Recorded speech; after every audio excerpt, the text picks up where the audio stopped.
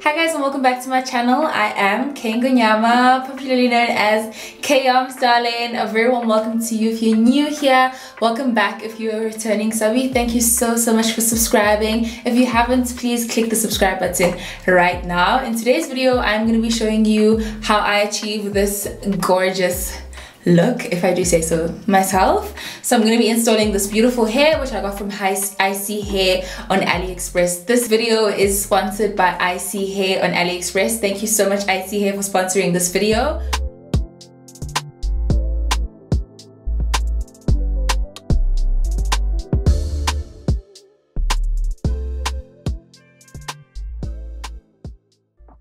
Okay, cool. So first things first, I just want to stress the importance of prepping your wig before you put it on your head. So by prepping your wig, I mean putting it on a wig head if you have one. Um, I got this from China Mall. It was relatively cheap.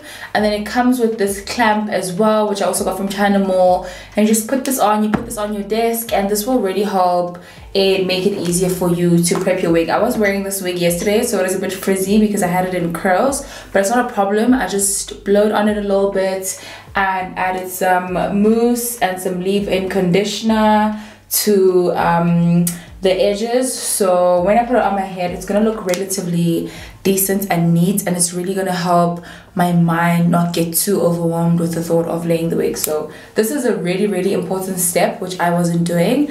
Um, just some important information about this hair. This is a 24 inch honey blonde wig. It is from ISEE Hair um, on AliExpress. It is 150 density and it is a 13 by 4 closure, which means it has a closure from ear to ear, okay? Um, what else can I tell you about this hair? It came in about two weeks. I work with ISEE Hair quite often. I work with them all the time. And I can say that like they have really great hair. I'm sure you guys have seen some of my wigs from them. They are amazing. This isn't HD. Um, this isn't an HD lace. It is a transparent lace. I don't know if you guys can see that and all know the difference, but I don't. I personally don't. I had to ask what the difference was. I also added this elastic um, at the back just for additional support. I find that with wigs that you sort of need to lay, like 13 by 4 closures, you really do need um, that elastic at the back for extra support. So if you haven't done this and or if you have you're struggling to lay a wig because you feel like it keeps slipping off go ahead and add an elastic. This elastic does come, come in the box. That comes with the hair as well as two um two what's the thing child? Hold on. Wig caps two wig caps. Yesterday i stuck the wig a bit um far back because I have trauma when it comes to gluing down the wig. So today I'm actually going to move it a bit closer because of the way in which it's customized. It's um, the, the knots, the, um, the hair's pulled so much in the front that you can sort of afford to bring it as close as possible to your hairline, which I think it looks fine here. Yeah, so I'm just gonna stick it there. I'm gonna go in with my Got2b Glued Blasting Freeze Spray which um, looks like that. And some 8 hour cream on my lips. I think it's like change in season or the weather or something, but my lips have been so dry. I used to scrub this morning, but the texture just feels so, so off. So I'm just gonna apply some gloss on the top as well. Okay. And then what I'm gonna do is I'm gonna go in with a cotton pad and some alcohol just to make sure that um, the area in which I'm gonna stick the wig is free from any products, some any oils, anything like that to make sure that I have a good hold on the wig. So I'm just using uh, an alcohol pad and some alcohol, spraying that down like so, and I'm gonna wipe it completely. I'm also gonna make sure I've got my hair dryer nearby just to make sure that this um, glue dries and I'm just gonna spray it in front of my hairline. Uh, make sure that you have this cotton pad mm, cotton pad nearby because it's so hard to get rid of glue once you have once it dries and it'll literally show under your makeup so you don't want that. I usually do one side at a time so i'm just gonna pull this wig forward like so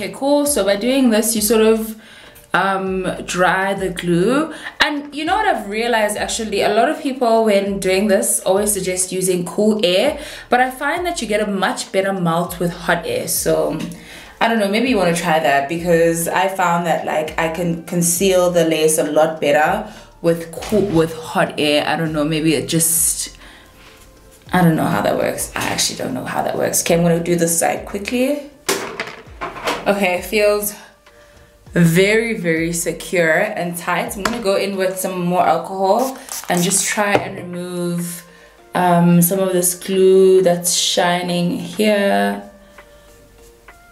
before I go in and I wrap this wig. So that's how the hair is looking now. I'm gonna go in with um, just this concealer palette just to conceal this hair further into my scalp. I'm going to use a very small brush for this and i'm going to go in with my foundation shade which would be nc50 if i'm using this um, foundation palette concealer palette from mac. And i'm just gonna basically color in this wig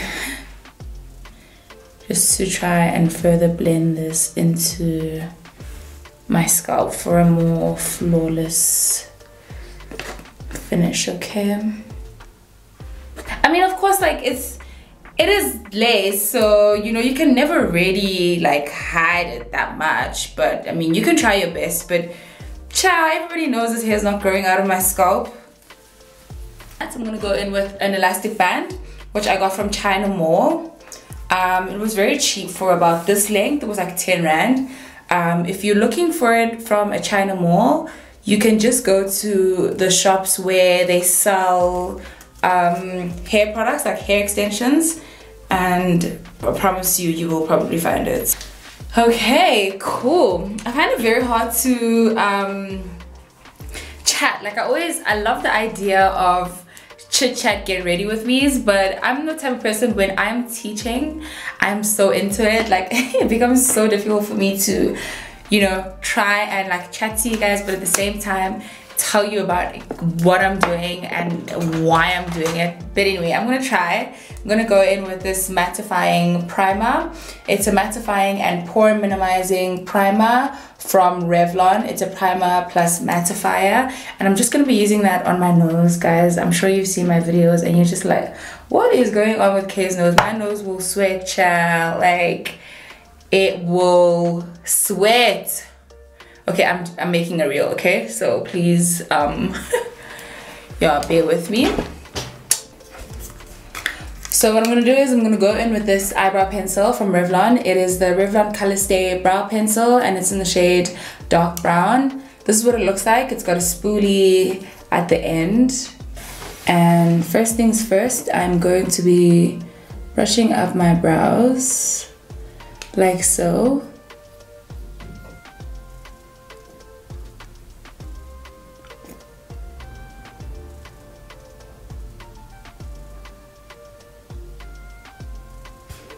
Okay, cool. So I usually do my um, my base first these days, but I find that I just really I, I, I don't get a sharp enough or precise enough brow. So I really prefer to do my brows first. Then I'm gonna go in with this brow filler. I've never used it before. I just wanna see what it's all about. It's a Color Stay brow filler. That's what it looks like.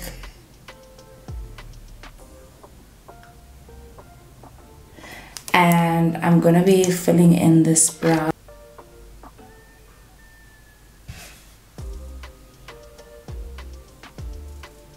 Also if you've got like very faint brow hairs and you don't you feel like if you're using a pencil it will it will make your brows look it will make your brows look a lot darker than they should. Then maybe you can just slightly sort of line your your brows with the pencil and then go in and fill in with the brow filler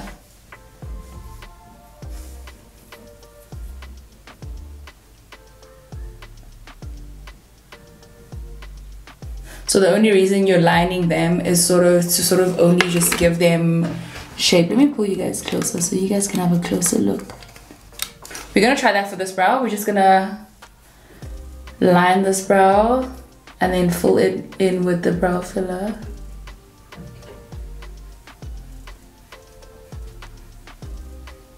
So just get that shape.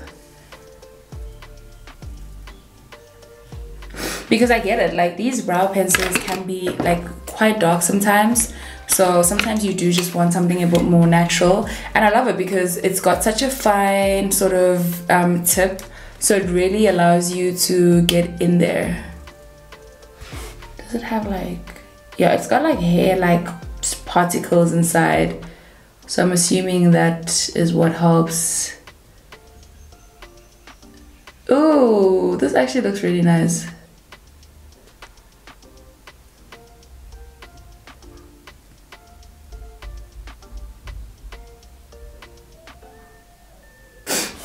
It looks a lot more natural than this one does because with this one I sort of filled it in with this actually looks like microbladed a little bit. What is this honey?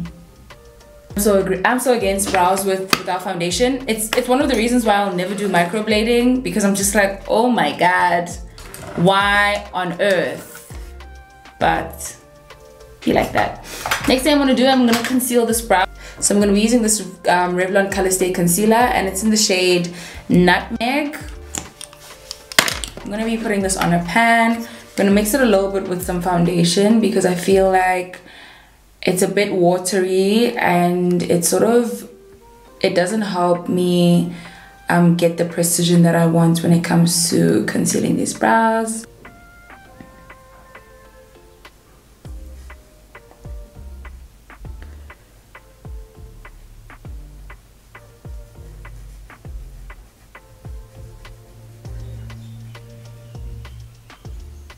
Gonna go in with this Revlon Colorstay concealer and I'm going to be using this on the rest of my lid just to give me a flawless base for my eyeshadow because I want my eyeshadow to really really pop. And the best way to go about that is to sort of conceal the lid first before I go in with any eyeshadow base or anything like that okay?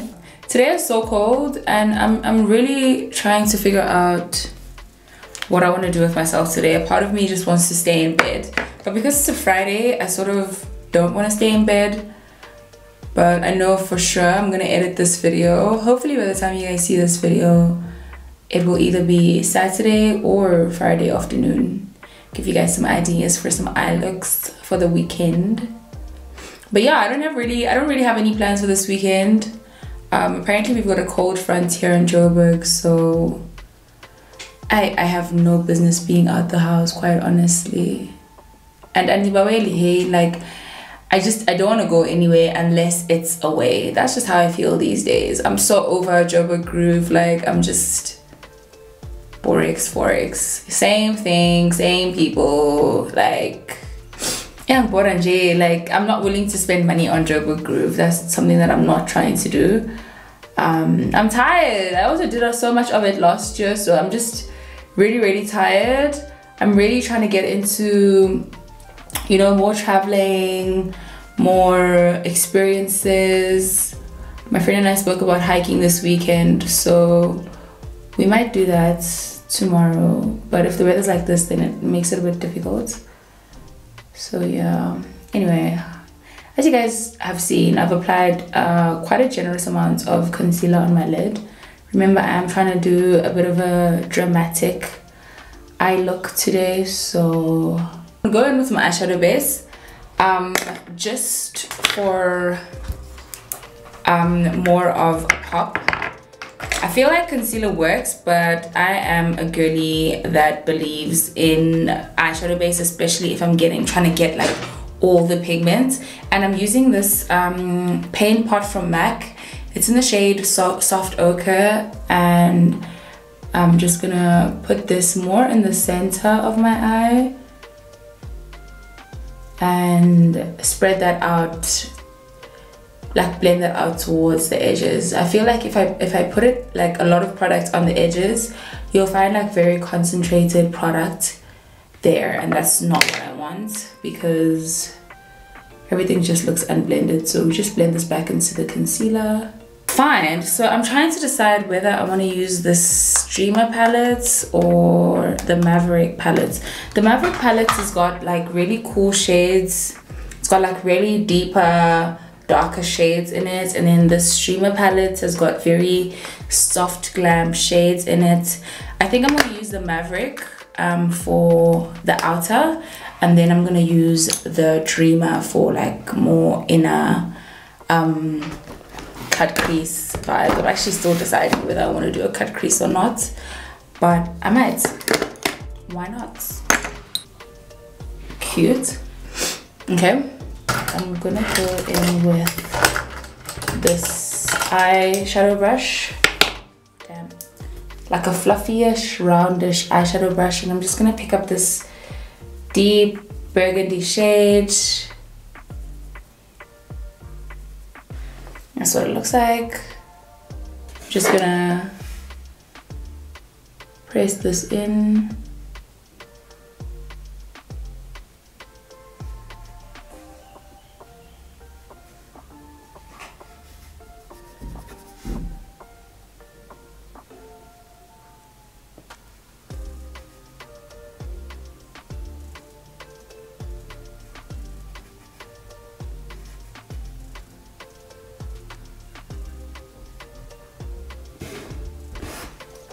You can see I'm really really packing that product in there.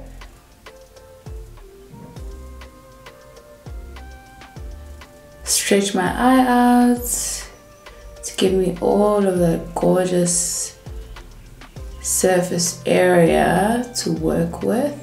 Back that softness will help blend that out. I'm going with a darker shade this shade over here just to give it a bit more depth over here um, and I'm just gonna pack that in right there.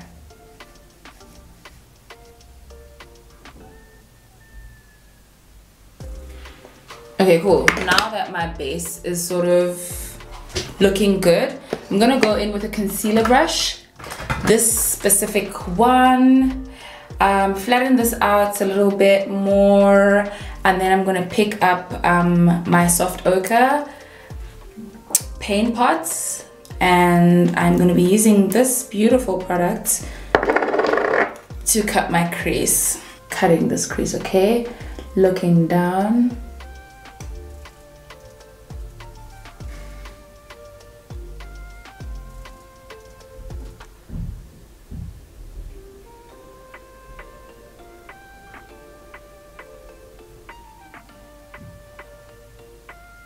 I'm gonna be going in with the dreamer palette from Revlon as well.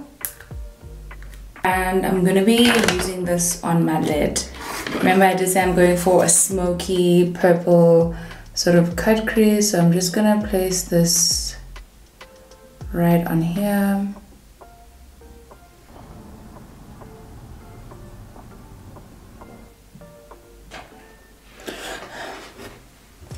And then in the front, I'm gonna go in with this nude color over here, just because I really like how it's looking here. So I think I'm just gonna keep it that way.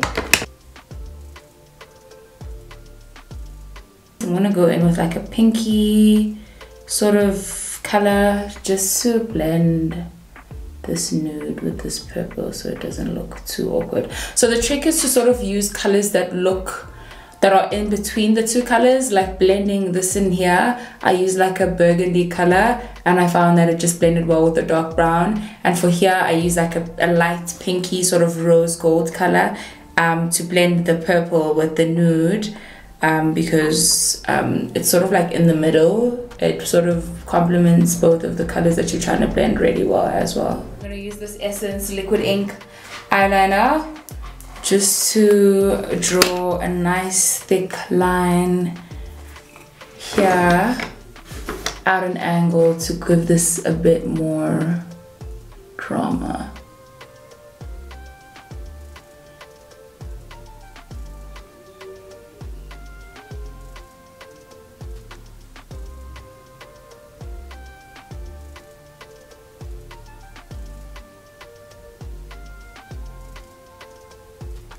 Then I'm going to close that up with um, just some black eyeshadow. Just so it doesn't look too weird and incomplete.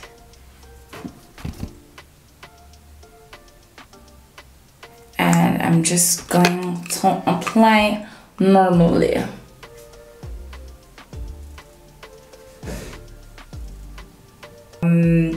Now we're to get into doing the rest of my face. I'm to go with some setting spray first. It's a Photo Ready Prep Set and Refresh Setting Spray. It is from Revlon. And I'm just going to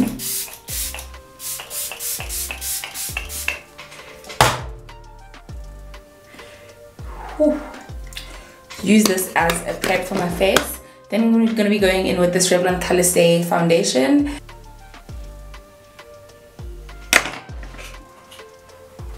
I've already primed my, my face, so there's no need for me to do that.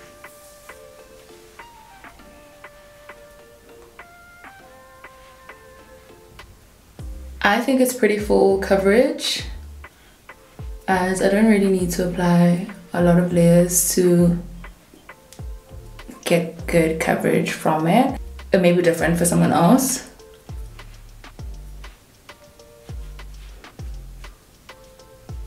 Really love it because it's rounded. So it really gives you a nice um, nice control when you get to concealing the rounded parts of your brows. And I'm going to mix a bit of concealer and a bit of foundation for this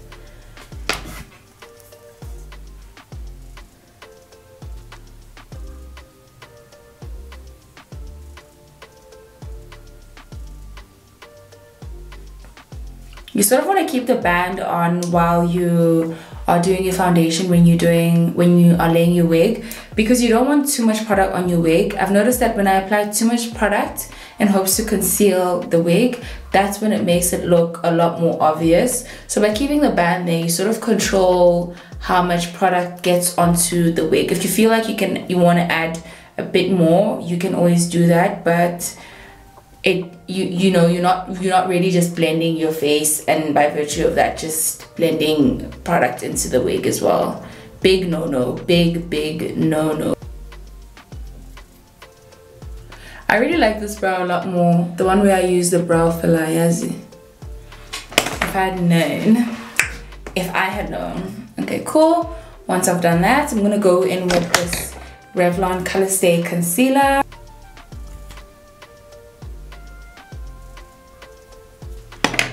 period, I'm gonna add a bit of this um, Revlon Candid concealer just because it's a bit brighter and I really like that light under eye, especially if I've got like a cut crease on. So I'm just gonna add this directly under my eye.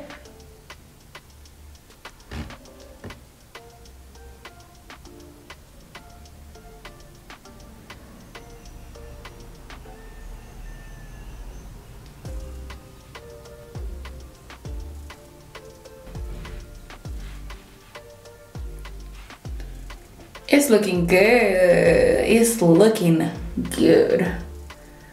Blend my nose, make sure that I pinch my beauty blender so I keep the products in that exact place. I went home this past weekend, which was great. But it made me realize how like toxic family actually is. Family is so toxic, guys. And I love my family, but family is so toxic. Um, I think it's just because like when you move out of home, um, you're introduced to a lot of different perspectives, just the people around you, therapy for me. Um, there's so many things that you're learning and realizing that, damn, this stuff happened when I was younger, but it was not right, you know? So to go home and still see like those things still happening, but at the same time, you're not really in a position to educate people well not really that you're not in a position to educate people but you don't want to like get home and like now try to seem like that person who moves to Joburg and now knows it all. But at the same time it's like it's like things that have always bothered me as a child and then I'm seeing them happen now and I'm just like guys this shit is still happening. It's crazy. I'm gonna give you one example. Like I got home and my my my nephews still weren't washing the dishes right? Now if it were a girl child i feel like they would have like already gotten them you know to wash dishes. But because they're boys they sort of have these gender like roles. And i'm just like guys there are no cows here. No one is herding cows. No one is gardening. No one is doing the garden. So why aren't these kids being treated equally? Because honestly i feel like responsibility is something that you learn from like such a tender age.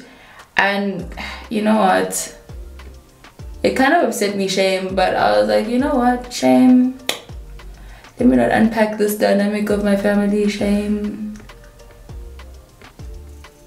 I think i'm just gonna um use that to be a better parent myself or implement those things in my household because honestly I hate seeming like that person that knows it all and is like trying to because to, to be honest like it never changes anyway. So in J I it sort of begins to seem like very futile.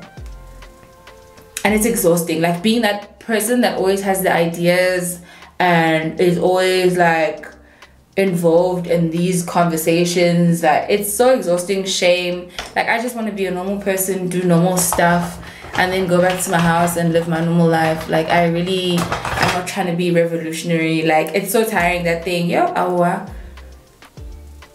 So i'm using this um foundation stick in the shade java it's a bit dark. I don't know why i'm applying so much. I'm being so ambitious. But I'm trying to get my face like really really beat today. So hopefully it'll blend out quite well and it won't overwhelm me. I hope it doesn't. Yeah! The way it's so dark. I shouldn't have put this on my nose but because being and this is why I struggle so this is why I struggle so much with um chit chats because yeah when I do my makeup, like I want to be focused, hey. And then I'm to go in with this beauty blender and try and make sure that I don't lose my highlights.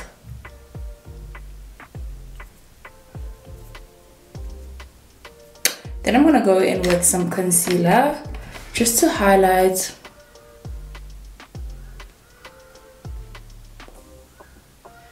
and further sharpen this contour okay? Notice that this is not um, a very light shade of concealer because I want to still be able to blend this out okay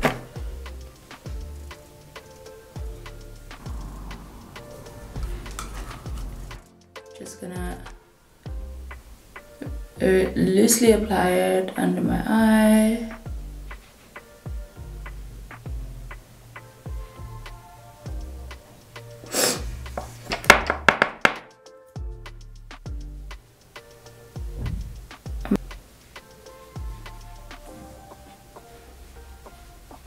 So now that I've set my face, I'm just gonna let that marinate just a little bit and I'm gonna stick on my lashes okay? And maybe just bronze up and warm up my face in the meantime. I'm gonna be using this powder from Revlon. It's the Revlon color complexion new complexion powder and it's in the shade cinnamon. This is just a, a powder that's in my skin tone. I just use it to sort of help bring back this color back into my face and set my contour as well. This band now to see what's happening with my wig and whether it needs any further blending into my scalp. And I don't know if it does. Maybe just a bit. But maybe let me just use the powder okay? So I'm to use this powder again and just sort of try and use that to blend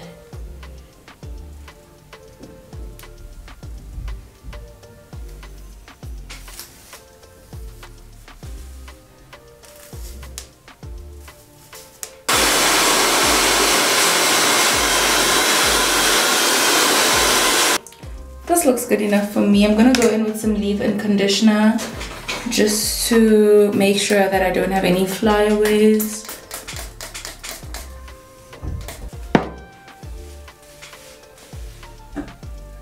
Okay. This looks good. I'm really, really imp impressed. I'm gonna curl this a little bit though. Girls, guys, one thing about me, I can transform. Hey, hey, ciao. I am a transformer.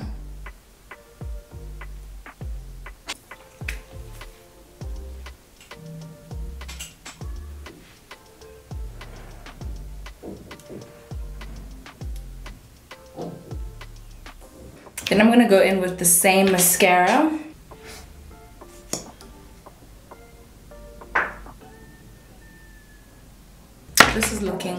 Very good.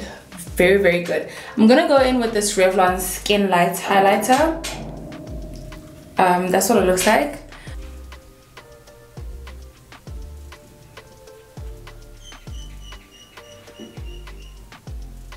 I'm gonna be using the MAC Chestnut Lip Pencil.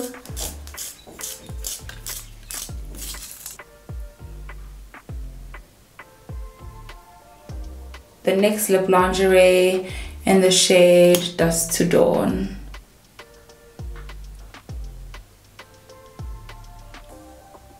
Giving me very separated vibes.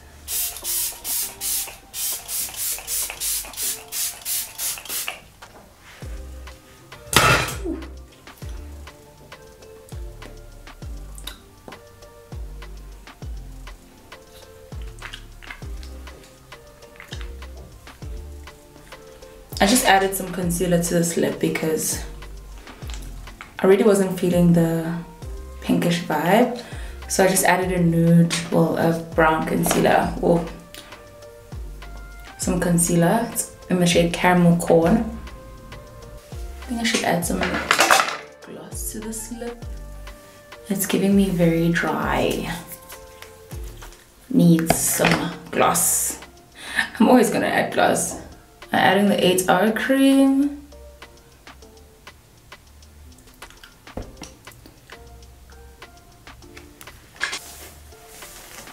Okay, cool. So I'm just gonna take some hair from the back.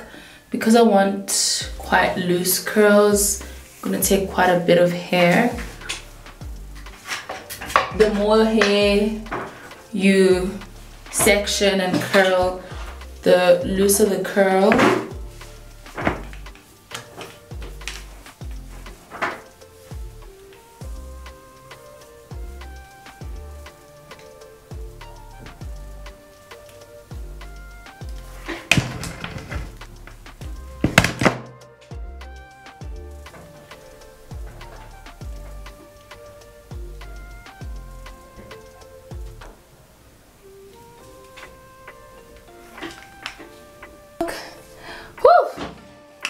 Okay, so this is the final look.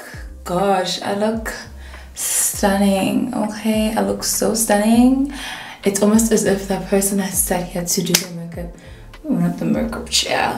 Their makeup initially, accent dim, but you know what? Dim shame. It is I, Dimi. This is the final look. I'm wearing this cute dress when I say titties are tittying, body is a bodying. Fupa is under control. I got this beautiful dress from Tee Stylish. Thanks so much for watching guys. If you do like this video, please give it a huge thumbs up. Subscribe to my channel and I will see you in my next video.